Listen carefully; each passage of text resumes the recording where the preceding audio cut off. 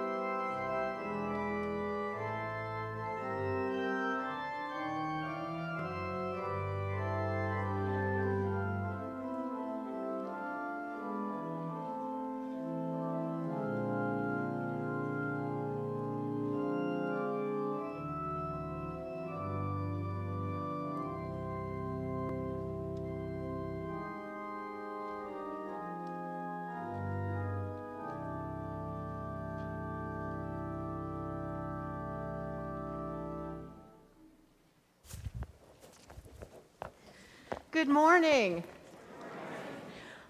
It's good to see everyone here today. I'm Pastor Deanna, one of the pastors here at Shepherd of the Hills. We are so glad to see everyone here today. And if you're with us for the first time, we want you to know we are delighted that you have come to worship with us. This is a place of open hearts, open minds, and open doors. And we are grateful that you have come through our doors today. What do you think about all of the decorations here in this sanctuary? You like them? That is the handiwork of your worship committee. There was a whole crew of people here yesterday working from 9 in the morning until about 1 o'clock in the afternoon, making sure that we got all of the trees up and the Advent wreath and all of the wonderful signs and symbols of this season that lead us to hearts that prepare for the coming of the Christ child. So thank you for the worship team and thank you for their hard work. It's our practice here at Shepherd of the Hills uh, to have everyone fill out a prayer and presence card. If you would fill that out and please drop that in the offering plate at the time of offering, that's very helpful to us. It's a great way for us to be able to stay in touch with you and a way for you to stay in touch with us.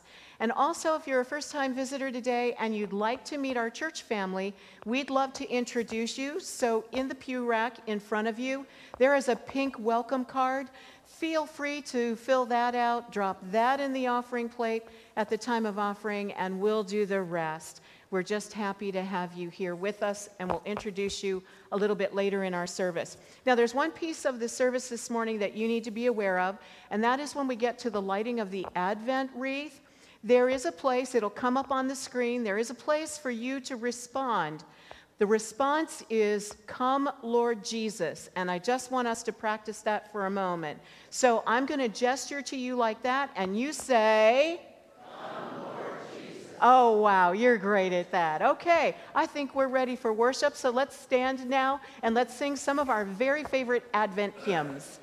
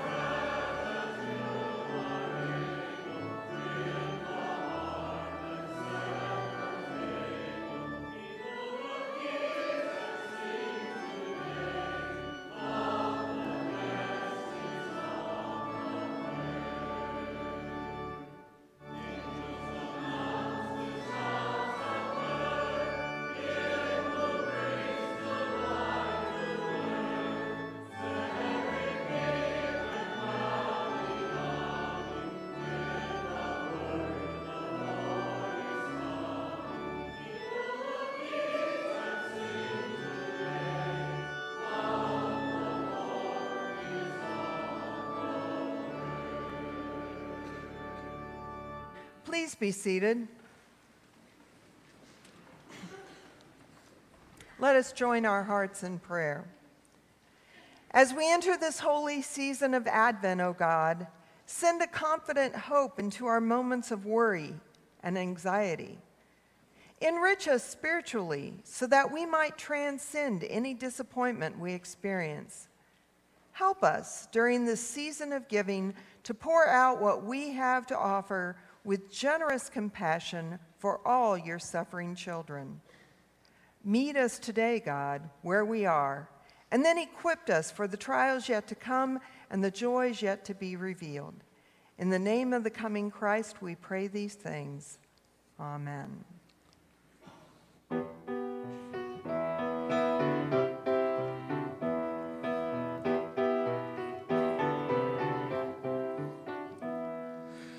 The King of glory comes, the nation rejoices. Open the gates before him, lift up your voices.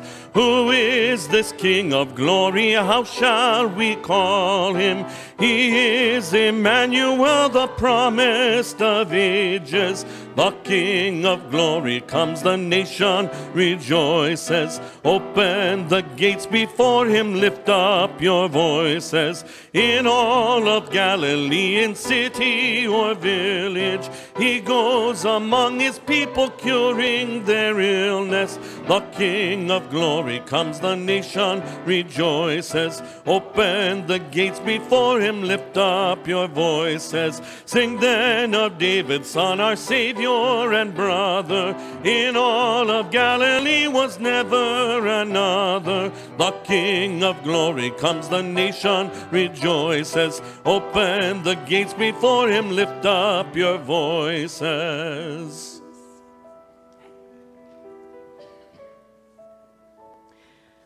Christ came to bring us salvation and has promised to come again.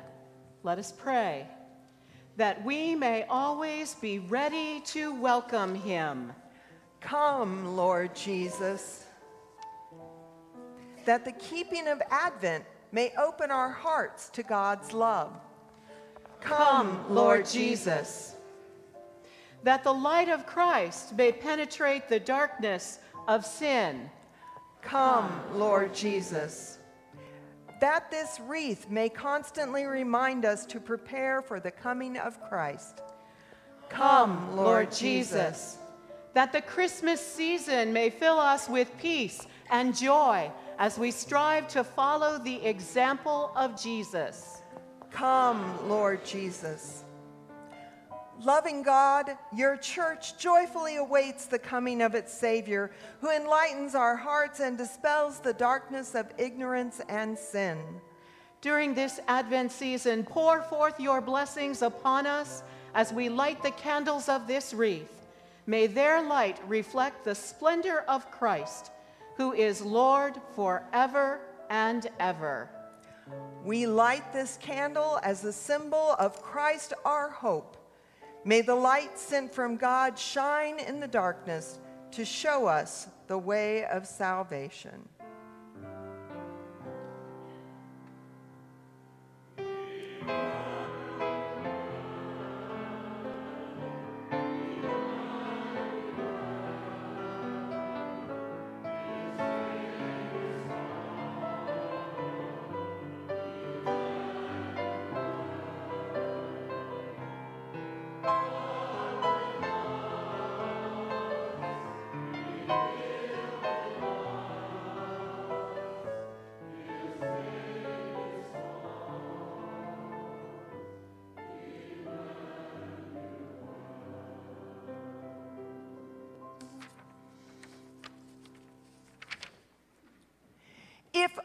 You would tear open the heavens and come down. Mountains would quake before you like fire igniting brushwood or making water boil. If you would make your name known to your enemies, the nations would tremble in your presence. When you accomplished wonders beyond all our expectations, when you came down, mountains quaked before you. From ancient times, no one has heard, no ear has perceived, no eye has seen any God but you who acts on behalf of those who wait for him.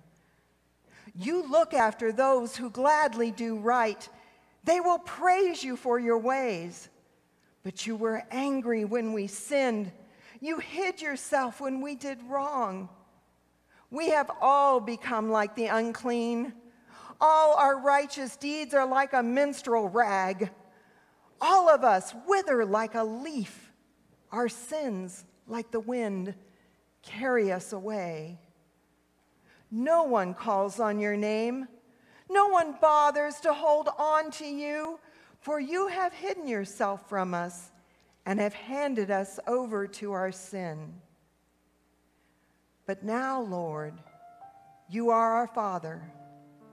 We are the clay, and you are our potter. All of us are the works of your hand. Don't rage so fiercely, Lord. Don't hold our sins against us forever.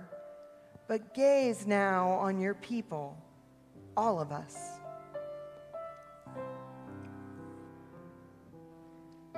Change my heart, O God, make it ever true. Change my heart, O God, may I be like you. You are the potter, I am the clay. Mold me and make me, this is what I pray. Change my heart, O God, make it ever true.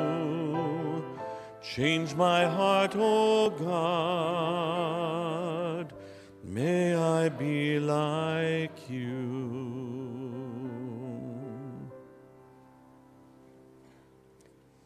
Hear these words from Paul's first letter to the church at Corinth. Grace to you and peace from God our Father and Lord Jesus Christ. I thank my God always for you because of God's grace that was given to you in Jesus Christ. That is, you were made rich through him in everything, in all your communication and every kind of knowledge in the same way that the testimony about Christ was confirmed with you. The result is that you aren't missing any spiritual gift while you wait for our Lord Jesus Christ to be revealed. He will also confirm your testimony about Christ until the end, so that you will be blameless on the day of our Lord Jesus Christ. God is faithful, and you were called by him to partnership with his Son, Jesus Christ our Lord.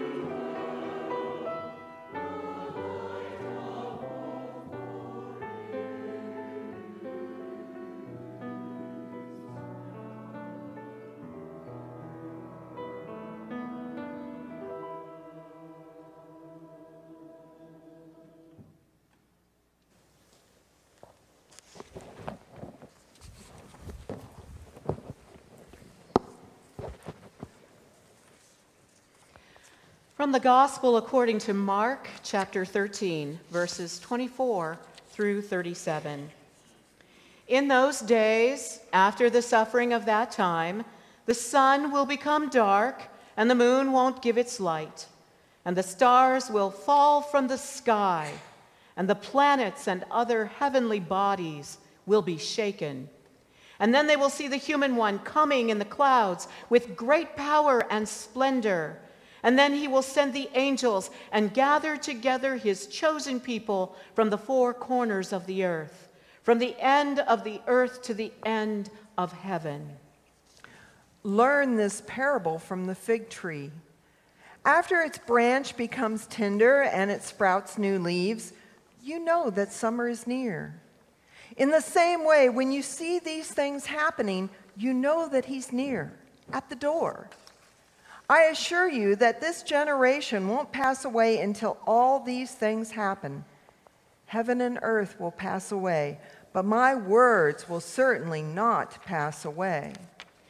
But nobody knows when that day or hour will come. Not the angels in heaven and not the Son. Only the Father knows. Watch out. Stay alert. You don't know when the time is coming. It is as if someone took a trip and left the household behind and put the servants in charge, giving each one a job to do and told the doorkeeper, Stay alert. Therefore, stay alert.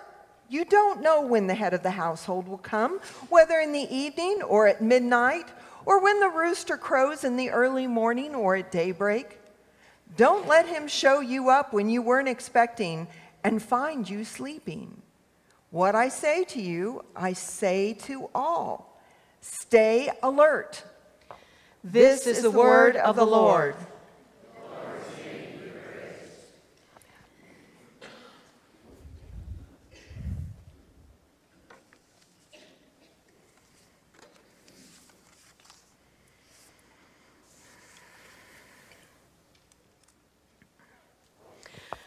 So, what would you do if your world were about to come to an end? Now, I know that that's a very strange way for me to begin the sermon this morning, but when you think about it, that is the question that is just begging to be asked this morning when we read these words from Mark's gospel. What would you do if your world were about to come to an end? In those days, after the suffering of that time, the sun will become dark and the moon won't give its light. The stars will fall from the sky, and the planets and other heavenly bodies will be shaken. And when they will and then they will see the human one coming in clouds with great power and splendor. What would you do if your world were about to come to an end? Now, I'm a preacher, and so I read these words every day. But when I read these passages, the first place where I want to go when I first read them is straight to that place of, uh oh, Jesus is coming and we're all in big trouble right now. But in truth, Christians have long been fascinated by what we call apocryphal writings, writings that speak about the end times, when God will come in all of God's final glory and splendor and put a stop to all of our nonsense here on earth. We've been fascinated for centuries by these passages, and we have even gone to great lengths over the years to attempt to decipher them. Some of us, just so that we can get a biblical leg up on maybe our next door neighbor maybe feel a little superior about what we know. And others, well, there are others who have attempted to decipher these texts just for the malevolent joy of terrorizing and manipulating God's people. There was a man by the name of Harold Camping. Do you remember him? Remember that name? Who predicted and heavily promoted the end of the world on May the 21st, 2011. And then when that prediction failed, he said that he got his dates mixed up and connect, corrected the time to be October 21st. Hal Lindsey, remember that name? Hal Lindsey did the same thing a generation ago. Remember his book, The Late Great Planet Earth? That man scared the bejeebers out of my youth group. I had to talk with those kids for months about eschatology and the second coming theology, things that young people at that age aren't quite equipped to psychologically and emotionally handle. And then, of course, there was all that Y2K stuff. Remember that? And then, of course, the Mayan calendar, 2012. Across the ages, we Christians have been so obsessed with these passages in our holy text, so obsessed with trying to figure out the exact day and the exact time when the world will finally come to an end, that to outsiders of our faith, we often sound and sometimes even look like crackpots. Now, let's not be too dismissive this morning of these apocryphal texts. There is some validity in what even crackpots have to say about all of this apocalyptic language. We just have to do some theology, some real theology, first, in order to get at that validity. And this is where I think the Gospel of Mark this morning can help us. I know that you have heard me say this in the past, but it really is true that I love the Gospel of Mark. I love this gospel. I cut my theological teeth in seminary on the Gospel of Mark, and I have never been the same since. Mark is the earliest of our gospel writers. His writings appeared sometime around maybe 65, 70 AD, Common Era. And just in case you have forgotten, let me also remind us today that Mark is the gospel writer who can best be described as terse and no nonsense. He doesn't have time for pretty stories about angels and, and long parables about vineyards or talents or people going away on journeys like Luke or like Matthew. Mark comes right to the point in his story of Jesus, a point that can often be piercing and sometimes just downright offensive. Today, he cuts to the chase when it comes to predicting when heaven and earth will pass away. And he writes, But nobody knows when that day or hour will come. Now, you see what I mean about being terse and to the point? Nobody knows, he says. Nobody. Nobody on earth and no one in heaven. And not even the angels. And this is a surprise this morning. Not even Jesus. Nobody but God. In his not so subtle way, this gospel writer lets us know that it is sheer arrogance to think that human beings are somehow privy to the mind of God. Nobody knows, declares Mark. Now, that being said, it's important to remember how people thought about such things in the days when Mark was writing. Remember, 65 to 70, Common Era, 30, maybe 40 years after the crucifixion and the resurrection of Jesus. In Mark's time, there were at least two traditions in the very early Christian church about when Jesus would return. David Lose writes These traditions were so prevalent in the early church that Mark simply couldn't ignore them.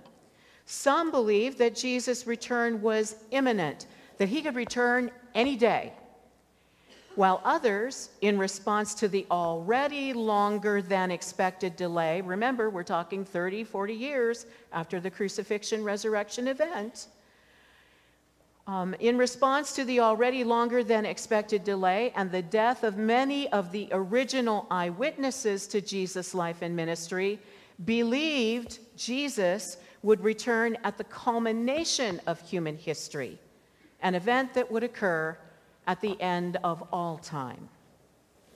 Two different viewpoints in the church and it's evident that Mark knew of these two opposing views. But rather than choose one view over another in his writing or attempt to reconcile them in some way, Mark chose instead to offer Christians a third possibility. In today's reading, Mark includes a subtle allusion to the final scenes leading up to Jesus' death. And that allusion is so subtle that you may not have caught it earlier, so let me read it to you now. You don't know when the head of the household will come, whether in the evening, which is an allusion to the Last Supper, or at midnight, which is an allusion to the Garden of Gethsemane, or when the rooster crows in the early morning, which is an allusion to Peter's denial, or at daybreak, the time of Jesus' trial before Pilate. Here's why this part of Scripture is so important. There are scholars who speculate that with this illusion, Mark is intentionally, in his version of Jesus' life, depicting Jesus as declaring that his return is precisely at the moment when he is nailed to the cross and we see God's love poured out for us and for all the world. That moment when the heavens shake and the sun darkens. Again, David Lose. Whatever, whenever, and however the end of the world may come, that end is realized in the form of a man who goes to a cross out of love for us. For this reason, theologians across the ages declared Jesus' cross as the pivotal point of history, for at that moment, one age ended and another began. It's so important to do theology, real theology, when we read these passages. And here's why Mark is declaring the possibility that Jesus has already returned and that the world as we know it is already passing away, and a new heaven and a new earth is beginning to take its place. And that's why we are asked to be on the lookout for stars beginning to fall and new leaves growing on fig trees, because the kingdom of heaven is already here, it is already now, and it is yet to come. And our job is to see it. Our job is to recognize it going on around us. So let's go back to the question that I posed at the very beginning of this sermon. What would you do if your world were about to come to an end? Life is short, and life is sweet. And it may be shorter and sweeter than we think. And I don't mean to be indelicate here today, just poignantly honest. When I say that for some of us, the world could very well end tomorrow. I think we know and we understand that reality here in this sanctuary, especially when on a Sunday morning we share our joys and our concerns in the service, and the list of memorials and the list of mission candle remembrances and those in the hospital is so long, so very long. I don't mean to be flip this morning when I say that there's more than one person in this room today who's actually joked with me about their bucket list. And that's why the question we are wrestling with this morning is so important. What would you do if your world were about to end tonight, tomorrow?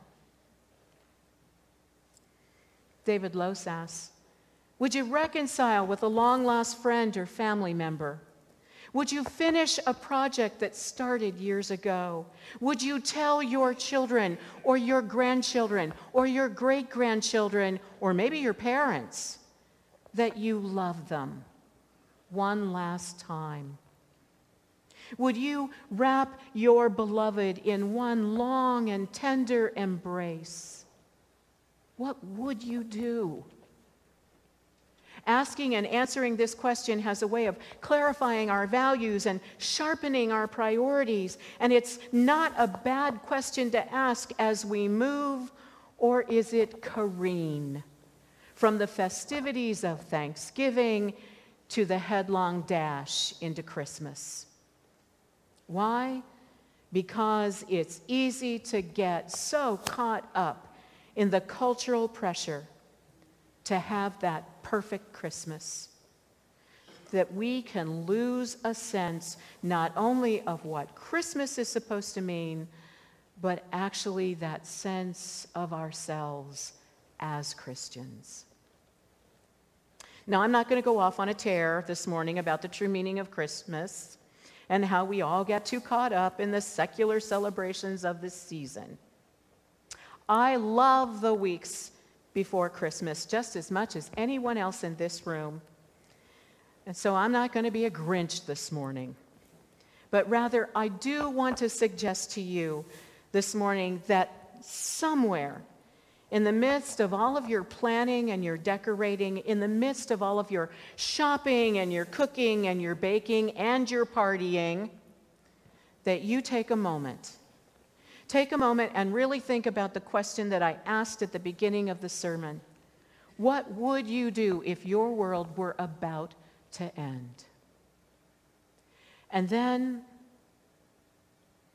promise yourself Promise yourself that this Advent season, while you watch and you wait and you hope for the cry of that newborn babe in the manger, that you will do at least one of the things that you said you would do if the stars began to fall from heaven tomorrow.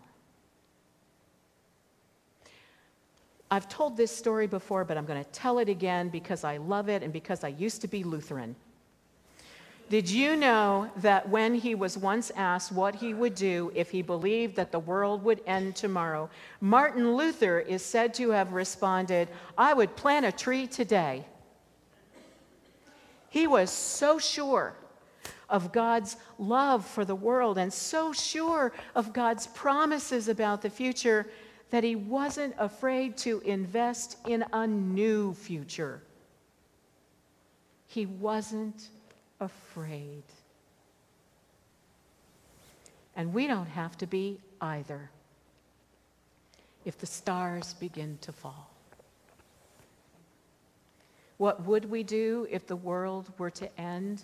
If our world were to end? There's freedom and there is power in that question, my friends, and we don't need to be afraid of it, as so many others of our time have suggested. For Christ has already come into our lives to bring a new world into being for each and every single one of us so that we in turn might do the same for someone else. During this Advent season, we are given the opportunity to remember the powerful promise of another season in the church year, the Easter promise that boldly proclaims Christ has died, Christ is risen, Christ will come again. So be on the lookout. Be on the lookout because the kingdom of heaven is here and it is now, and stars are beginning to fall. And my Lord, what a morning is dawning. Today and tomorrow, and in the days to come of this Advent season. What lies ahead, my friends, is the opportunity to see our great and magnificent and wonderful God at work in the world working for good for us, always working for good, and always inviting us to find a way to do the same. So watch and wait, and above all, live each day to the fullest, so that the King of glory may come and the nation may rejoice. Amen.